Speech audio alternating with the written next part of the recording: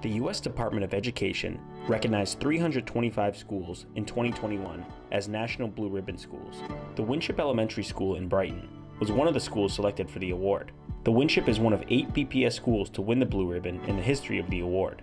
The recognition is a credit to the hard work of the Winship educators, students, and their families in creating a safe and welcoming environment where students can enhance their academic skills and become critical thinkers and problem solvers. I'm so proud of, of, the incredible, consistent, and daily hard work that our students have done and committed to their learning and growth. Um, and likewise, uh, our, our staff. This is a staff that goes above and beyond for kids and families every day in every way. And, um, and it, I just, I'm, i feel so honored and humbled that that has, has a chance to be recognized by this award. I think it's because of the genuality of, of what we do, how we teach our students and making them really become, you know, their own agents for learning and instilling in them that we believe in you, you have the power to learn, and you can do this, and we're going to help you do it.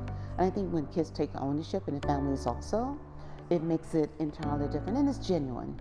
Uh, that's the key. The community at the Winship is amazing. I, you know, I think it starts right from the, the beginning of the day when the kids are walking in and they're getting greeted and getting their fist bumps and they just have smiling adults, happy to see them and ready to get working. I think it just comes down to knowing that they get to come to school and have a teacher that cares about them. So I think that every classroom here has that teacher and, and the people in the building just love coming to work. So it's, it's, easy to translate for the kids to enjoy coming too. It's, it's not one thing that I think we've been pleased about with the Winship. I think it's a ton of things. It's um, super diverse. Families have been fantastic and involved.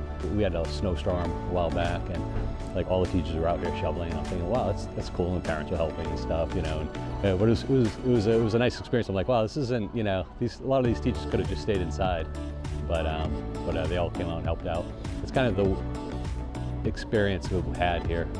Yeah, I love the Winship. I feel like it's a family in here. We always have communication between the principal and teachers and classmates and everything.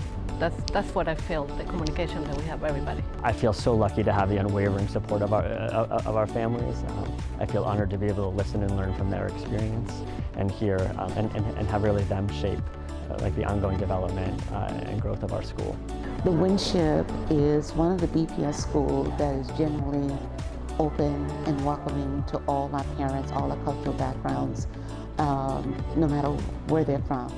They feel at home once they come in just by the initial contact with our families and students. And they're like, oh, I, I feel like I belong here. Yeah, you do belong here. You're ours.